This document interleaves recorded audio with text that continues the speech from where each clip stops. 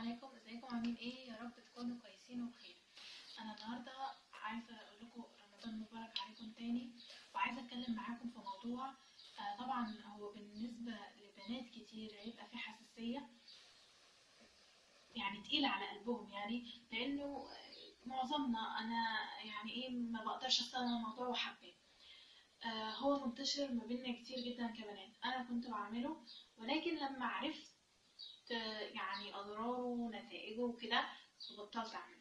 الكلام ده كان لسه من تلات أربع أيام. فأنا حبيت أطلع أقول لكم كان بها حاجة كويسة. ولو ما اقتنعتوش فأنتوا أحرار بس يا ريت يعني تعملوا على إنكم تقتنعوا. اللي إحنا هنتكلم أو اللي أنا عايزة أتكلم الموضوع ده عشان ما ما نرغيش كتير. الموضوع اللي أنا عايزة أتكلم فيه النهارده هو آه، موضوع آه، صورنا أو صور البنات بمجمل عام على السوشيال ميديا. آه، بصوا آه، أنتوا دلوقتي هتقولوا عادي. أنا دلوقتي بنزل صورتي وعلى profile ي. وأنا كده كده profile ي خاص private سواء على الانستجرام ولو منزله صورة على الفيسبوك بخليها بس لل friends للأصدقاء بتوعي وعادي. ومفيش أي مشاكل. اولا أنا هرد على جزئية آه، للفريندز دي. انت حتى لو كل اصدقاء البنات انت مش ضامنة كل البنات اللي عندك خلاص طيب آه يعني مش ضامناهم كلهم إن مثلا مفيش واحدة تاخد صوره وهتعمل وهتسوي. الكلام ده كله فاضي الكلام ده كله فيك آه الكلام ده كان زمان مش دلوقتي. على هو كان زمان ولسه موجود. ولكن خدي دي يا ستي نقطة في بحر اللي أنا لسه هقولهولك طيب بالنسبة آه، برضو الانستجرام والحساب بتاعي برايفت وكده انت بتقولي إن محدش يقدر يشوف إلا اللي عندي. برضو انت مش ضامنة كل اللي عندك. طيب والمشكلة إيه؟ إنها تقول لي تكون حاطة على الملف الشخصي الصورة اللي بشعرها مثلا. هو المفروض مش انت حجابك مملكتك في أي مكان سواء في صورة أو في غير صورة؟ طيب. هنفترض إن في واحدة بتقول أنا بتصور آه، بحجابي بتصور بوضع كويس لا بعمل بوز بطة ولا بوز وزة اللي إحنا بنقول على الأيام دي يعني بتصور حلو ووضعية كويسة وتمام. طيب بصي افترضي إنك خارجة من بيتك. إنتي كحياء وكبنت لا تقبلي إن في حد عينه تدنها مبحلقة فيكي وإنتي ماشية يا بنتي.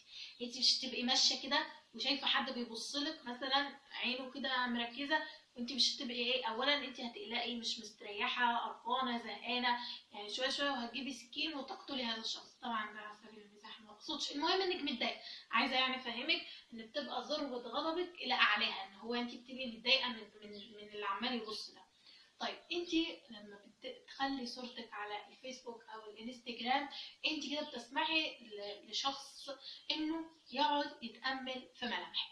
هتقولي وفيها إيه؟ طب ما أنا لما بنزل في الشارع هو هو أنا لما مش عارف إيه هو هو أنا. المهم إن أنا موجودة والناس بتشوفني كده.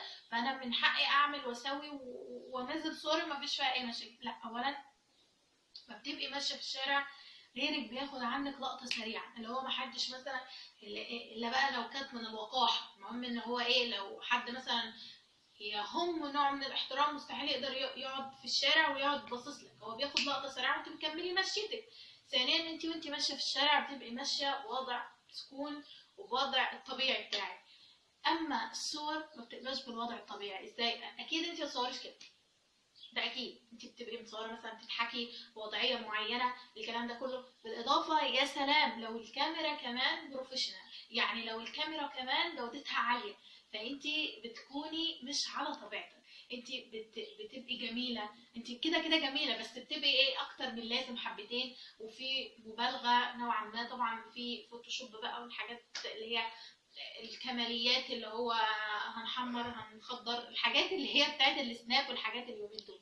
فالمهم دي اللي أنا عايزاكي تفهميه إن هو اولا انت ما تكونيش على طبيعتك. طب إيه المشكلة؟ طب إيه مش عارفة إيه؟ انت بت- بتسمحي لحد إنه ينتهك خصوصيتك. إن هو انت انت أهو بتقولي أنا ما أقبلش إن حد يقعد يبرق أنا ما أقبلش إن حد يقعد يدقق النظر فيا. طب ما انت لما بتنزلي صورك انت تسمحي لحد ممكن يقعد يدقق النظر فيكي. خلاص؟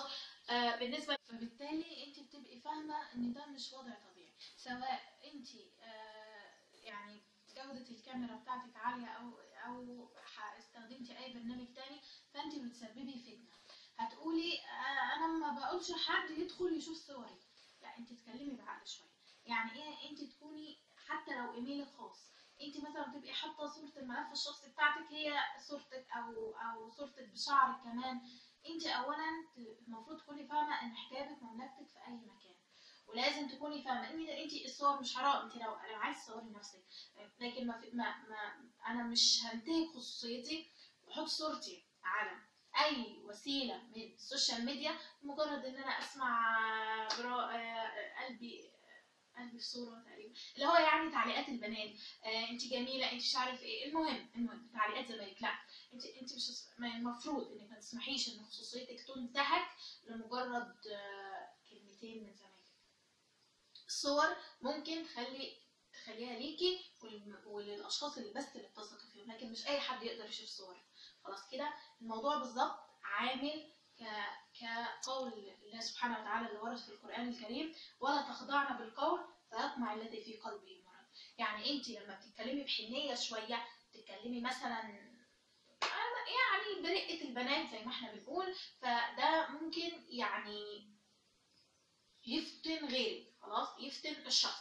فانت كمان بتعملي كده سواء آه، فطبعا موضوع عفوا موضوع الصور هو هو. موضوع الصور هو هو انت عشان ما تسببيش فتنه انت وكمان من الأول للآخر هي الفايدة ليكي انت والحفظ ليكي انت والصون ليكي انت. لو مش من حق أي حد يشوف صوري أو يشوف ملامحي أو إن أنا ما اسمحش إن يعني من حيائي ما حدش دايما برق فيها كده كتير. وأكيد دي اللي انت عايزاه بس ده اللي أنا فهمته من الموضوع ده اللي أنا عرفته وحبيت أقوله لكم بحيث إن هو خلاص أنا فهمت الأضرار والحمد لله خلاص مش عايزه اعملها تاني. فرض ما يجاز إن أنا كنت بعمل كده. وخلاص عرفت إنه غلط وخلاص هبط خلاص عفى الله عما سلف وإن قدرتي تمسحي أي حاجة يعني آه امسحيها. خلاص. وتبتدي بقى خلاص بداية جديدة.